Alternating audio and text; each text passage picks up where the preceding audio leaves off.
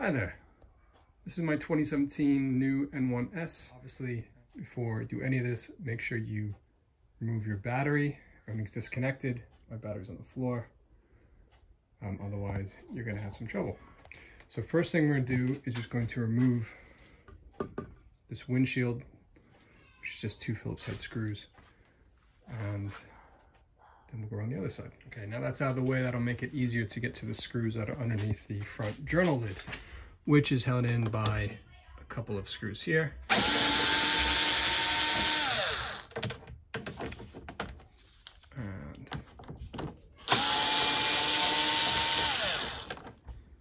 Okay, and then what you need to do is get underneath here and just pry it up. And you can actually just do it with your fingers like this, pops up like that. And there's two Phillips head screws, one here, one here. You actually have to pop this whole thing up first. It's relatively easy, comes off. And then we get the screws. So for that, I'm gonna use it. Okay.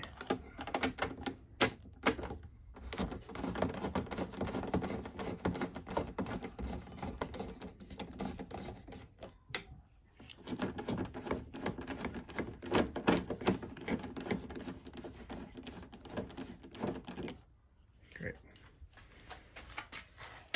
This next bit, a bit hard to explain. There's a couple of basically connectors under here, which are really hard to see. Let me see if I get some light on that.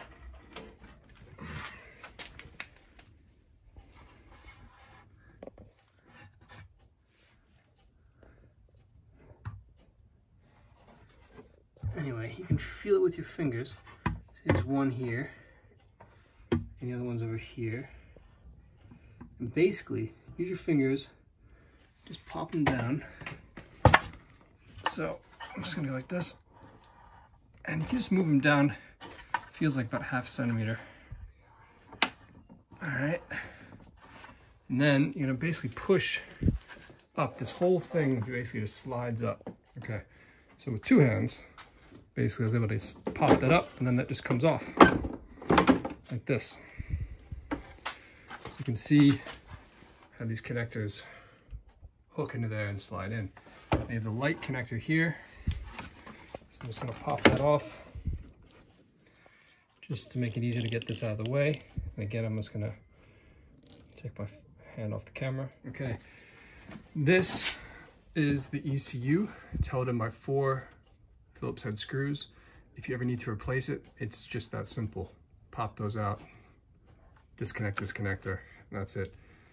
The SIM card is inside the ECU. You cannot just swap SIM card, unfortunately.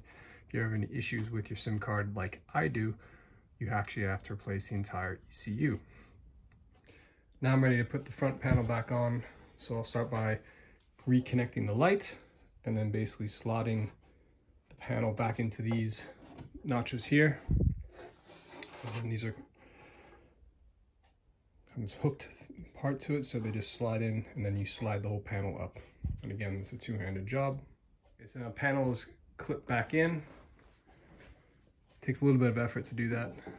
Then I put these two screws back in.